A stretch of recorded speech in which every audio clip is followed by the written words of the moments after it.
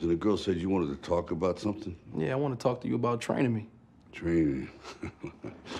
I don't do that stuff no more. Sorry about that. Listen, it's getting kind of late, kid, so I'm gonna uh, close up. How good was he? Apollo, yeah, he's great. He's a perfect fighter. Ain't nobody ever better. So how'd you beat him? Time beat him. Time, you know, takes everybody out. It's undefeated. Anyway, I gotta lock so when up. Mickey died, he came and talked to you, right?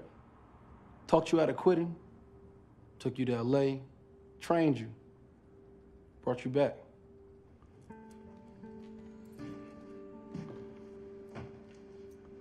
How do you know all this? How do you think?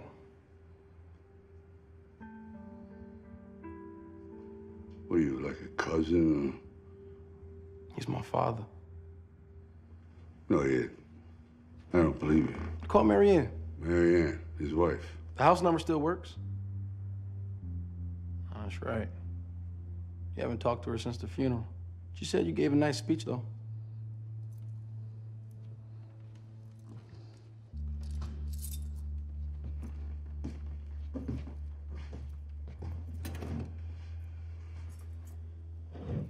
Yeah. Nice speech. I want you to train me. All right? I need somebody solid, and who else better to go to? All right? You at least owe me that. I can tell the way you talk. You've been to school, you know, so I figure you got some brains. Why would you want to pick a fighter's life when you don't have to? If Apollo was around, he would tell you that too. Well, he ain't around. I've been fighting my whole life. I ain't got a choice. It's always about a choice. I was in the ring. I saw how it went down. That fight should have been stopped. I should have stopped it. Maybe he wanted to go out like a fighter. Maybe you did exactly what he wanted. I think he'd rather be here talking with you.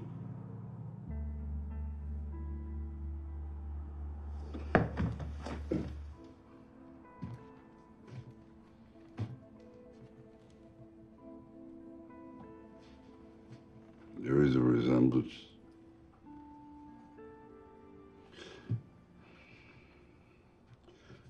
I'm usually here all the time, so if you're ever in the neighborhood, come by if you need something. I'll be at Mickey's gym tomorrow. I don't go there. I haven't been there in a long time. Since we're pretty much like family, who won the third fight? You did.